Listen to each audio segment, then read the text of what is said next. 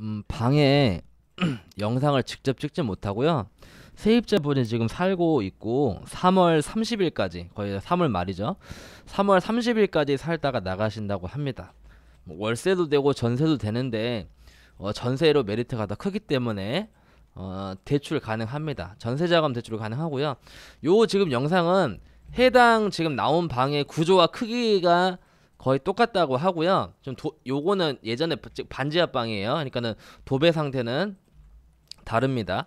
그래서 지상층 요 정도 크기가 나온다고 보면 돼요. 반지 아니고 지상층으로 8천에 관리비 8만 원이거나 아니면 1억에 관리비 6만 원 어, 이렇게 된다 합니다. 그래서 중소기업 대출을 받으실 분들도 뭐 1억에 관리비 6만 원이나 8천에 관리비 시- 뭐 8만 원이나 2천만 원 차이에 이자 만 원, 2만 원이죠. 근데 이제 중소기업 대출이 아닌 그 외의 대출은 이율이 더 세기 때문에 8천에 8만 원에 좀 더 메리트 있을 것 같습니다.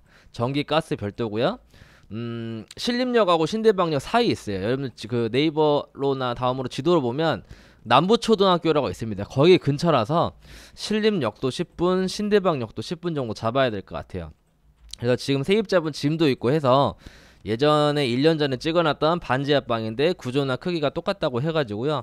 제가 치수까지는 어 제가 자막으로 표시할 수 있으면 자막으로 표시를 할게요. 근데 평수는 딱 봐도 한 4평 정도 돼 보입니다. 4평 조금 더 돼 보이고요.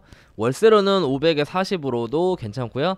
근데 전세로 대출 가능한 어 8천 네 관리 8만 원 그렇게 보시면 될 것 같습니다. 그래서 아마 좀 빨리 나갈 것 같습니다. 대출되는 게 어, 많이 없으니까요.